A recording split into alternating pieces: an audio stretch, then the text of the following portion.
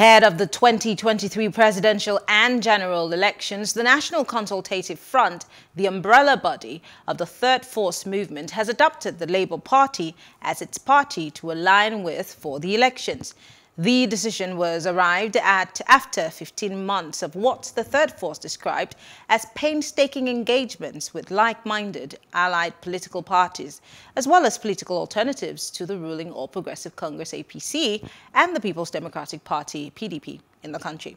Well, joining us to discuss this is a political economist, Professor Pat Utomi. Thank you very much, Professor, for joining us. I'm glad to be able to join you. Great. Um, let's talk about the third force. So lots of people keep hearing about the third force, and this is not the first time. We've heard of many other third forces, but this seems to be the third force uh, that is now merging with the Labour Party. What actually makes this particular third force formidable as opposed to other people who have called themselves third forces, especially the NNPP? Well, the business of having an alternative political party platform uh, has been ongoing for some time. It's been ongoing because most Nigerians who are savvy recognize that both the PDP and APC are one and the same party. And that in 22 odd years, both parties have inflicted so much damage to the possibilities of the Nigerian dream, that there was need to think alternative. But you see, uh, people are very slow to adapting to a new way. People sometimes fear the unknown. But in the case of Nigerian politics, they are particularly wary of the fact that what is called structure tends to determine election outcomes. The fact that if you were the best candidate in the world and you did not have what they call structure, and what they call structure is really taking government money and using it to have people all around the country. In many parts of the world, the people who run APC and PDP would all be in jail because they're taking public resources and using them to oil a machine around the country. Uh, but well, Nigeria is not quick to jail those who should go to jail.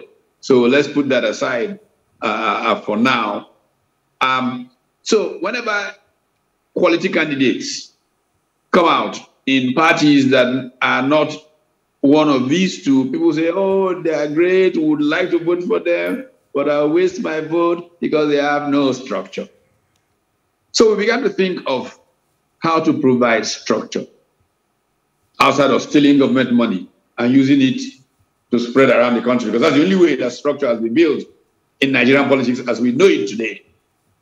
Hmm. So we then came to a conclusion that the way to do that is to find civil society movements, organizations that have spread across the country, people who are committed to them on ground. And we came to the conclusion that the most effective of that kind of social movement is the labor movement. And so we began to talk to the Nigeria Labour Congress, we began to talk to the um, TUC. We've had a series of meetings. I led a delegation two years ago to engage the um, Central Working Committee of the Nigeria Labour Congress, and we began to talk and it was getting more and more uh, uh, comfortable. And so we got to a point where we have suggested a number of political parties that could be a vehicle.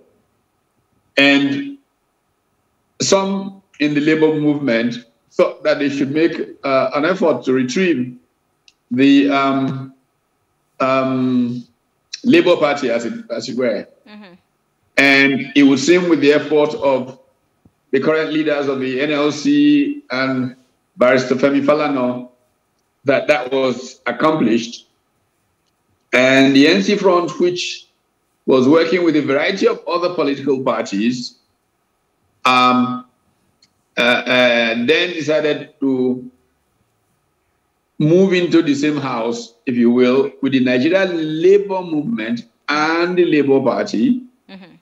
without letting out from the big tent, which we have been building. And the big tent includes several other political parties. And we believe that more will get on this big tent, which is pitched on a moving train. Hmm. As it gets to your station, you may join. Okay. We, in fact, try. Okay, go ahead. I, I just want to, uh, um, you know, just quickly come in there. Um, when you say that others will join, you see, um, as we speak right now, I'm, I'm, I'm sure that, you know, you would have gotten wind of this, that uh, a presidential aspirant on the platform of the People's Democratic Party has uh, decamped, um, in fact, resigned from the PDP. Um, and and there, there have been people who have also been cautious as to who they support. Um, can you tell us if this third force will be wary of the people who have been in the recycled big political parties, or will you throw open your doors in a bid to try to move the front and, and continue to build momentum as you get forward to 2023? We recognize that this is the Big Tent. It has a place for everybody, but how you play inside that Big Tent depends on your antecedents, depends on your values. The reason we are creating something different is not to have another PDP or another APC. We want something that is genuinely committed to service to the Nigerian people. We want something that recognizes that this uh, narcissism, this self-love that makes the political class think more of itself and think more of democracy as a government of politicians for politicians by politicians, that it needs to give way to uh, a new kind of politics of government of the people, for the people, by the people. We clearly said to ourselves that there are three P's that are important if Nigeria is going to go anywhere. And those P's are essentially the P of production. We're going to produce. Mm-hmm. The P of people. The P of power. We cannot produce because we don't have power. Nigeria is currently a major global disgrace as far as power is concerned. And the APC and PDP governments in 22 years have managed to do very little about power. And this is the challenge that we face in the country. So to put this in place, we are going to welcome good people who come, but we will welcome only those who we believe. Uh, we welcome everybody, but we only give the front row to people who we think will make a major difference. How do you, I'm going to rephrase my question again. How do you guard against people who might be aggrieved from the major political parties, who some, some people would term as the money bags? Uh, it's a question I ask, yeah. um, you know, the smaller or the other political parties. I'd rather not call them small. Um, it's a question I ask the other political parties. How do you guard against these people hijacking your party no, no, they, they, and the good, the, the, good intentions that you say you have value, for Nigerians? You will not be able to hijack that we're guarded against that. How, how are you guarding against it? Because, I mean, we see, uh, for example, other parties Look, where... very clear criteria, leadership criteria that we have laid down. Very, very clear. And unless you meet those criteria, you will not come to the front row. You will be there, but you will be somewhere on the back seat as you imbibe our culture, you may move to the front row, but it, coming in, you come into the back seat. Hmm. Yeah. Um, let's look at um, the capabilities of this third force to um, go anywhere in 2023. Again, uh, just as you've said, Nigerians might be looking elsewhere uh, for a leader that would be able to steer the ship in the right direction. But um, is the third force ready to be able to upstage both the APC and the PDP? I mean, we see what's happening now, the shifting of dates back and forth. Uh, we're still seeing a lot of disagreements here and there. What difference will you make? One. Secondly, how powerful and strong strategic will you be by 2023 to be able to win these elections uh, that you are getting ready or gearing up for? Our movement is committed to new ways. And amongst the disrupting strategies we are adopting is that we want to bring in new voters. We have part of this movement, the 40 million vote initiative. We're trying to ensure that we bring in new people who have never voted before, who have different kinds of commitment than those who go and sell their votes. This is why we are going to be a kind of a, a different thing because our power will come from these new voters. And, um, and so we're going to be a direct, uh, uh, um, an outright uh, uh um, formidable uh, whirlwind moving to blow these fellows out of the political arena. Now, let's talk about the voters but, themselves. But we also, by the way, have what we call the RPDP and RAPC. We founded already a group, a group in the PDP and one in the APC, who, which we call the RPDP and RAPC, the righteous AP, APC, righteous PDP. Uh, uh, and members of that group will ultimately uh, move into our uh, parties in this big tent. Okay. I want to talk about the voters quickly. They're the most important in all of this. They're the ones whose votes you need. How will you be able to convince the average person? I like the fact that you said that you have the labor movement with you. We know what's happening with students now, and university students are at home. Um, the government and yeah. ASUU are still, you know, at loggerheads. We're seeing a lot of things that are going wrong. That is all fair and great. But then we also have a voting public uh, that needs a lot of convincing, especially uh, just as you mentioned about structures, because people are mostly interested in the local elections, in, in their local governments, in their wards.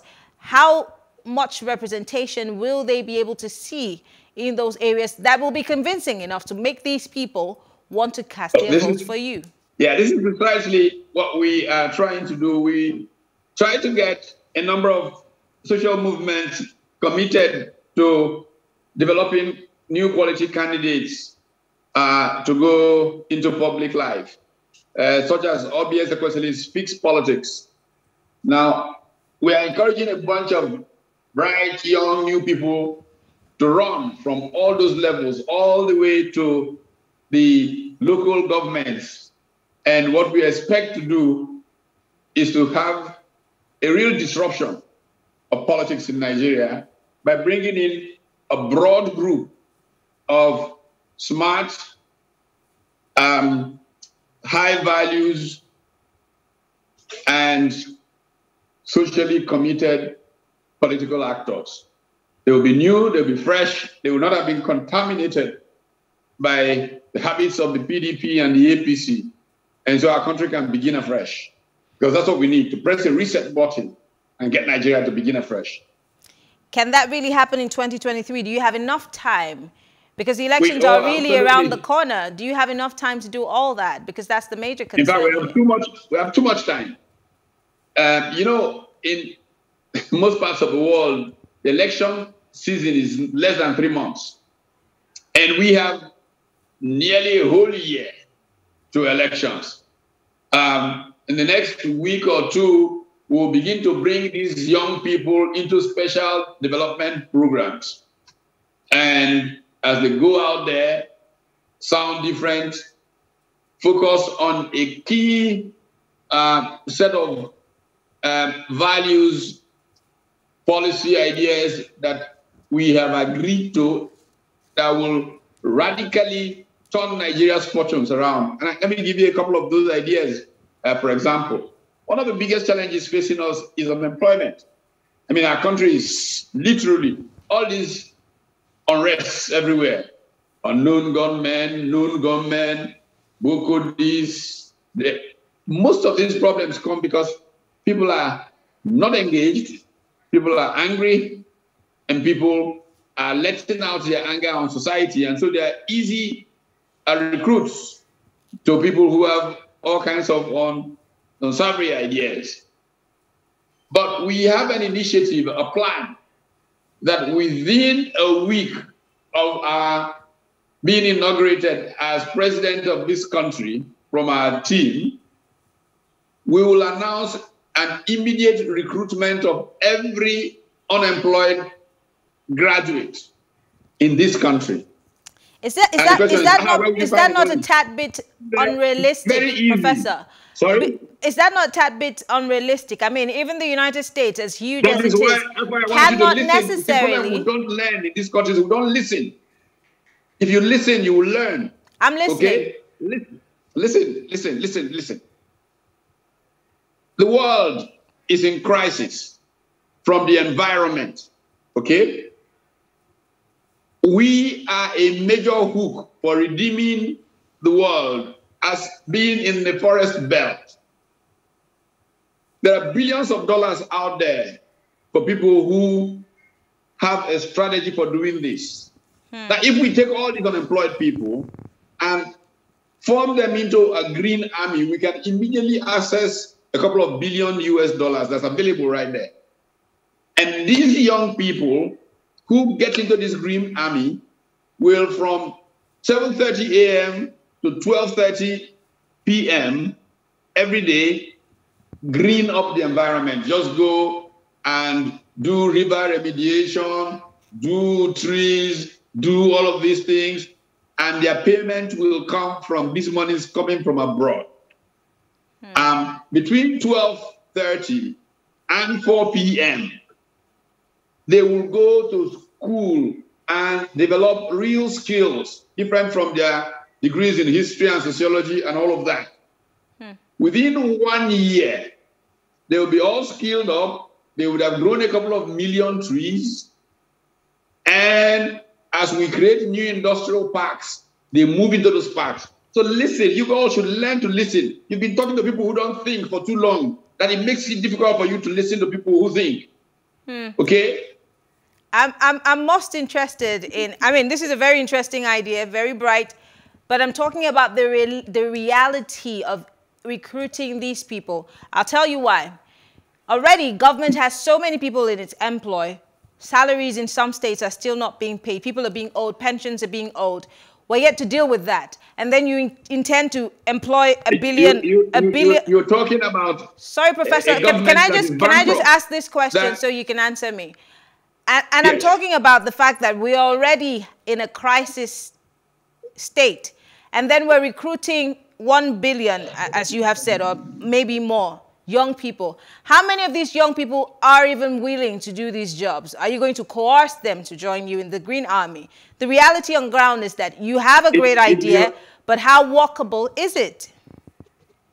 Completely workable. Have you heard of a man called Inacio Lula da Silva. He was president of Brazil and he might yes. be back as president of Brazil very soon. Inacio Lula da Silva changed the course of Brazil's history through a series of initiatives that have been uh, referred to as the conditional cash transfer system. Now, this idea was kind of domesticated into the APC manifesto by myself. Mm-hmm. And this is what has been impl- implemented in this uh, TraderMoni. This is, but they've not done it the way that da Silva implemented it in Brazil. Mm-hmm. And it has become a drain, become a political drain pipe. And we're saying that we take the same ideas on a matter that is bothering the entire planet and they have money put aside. So the money comes.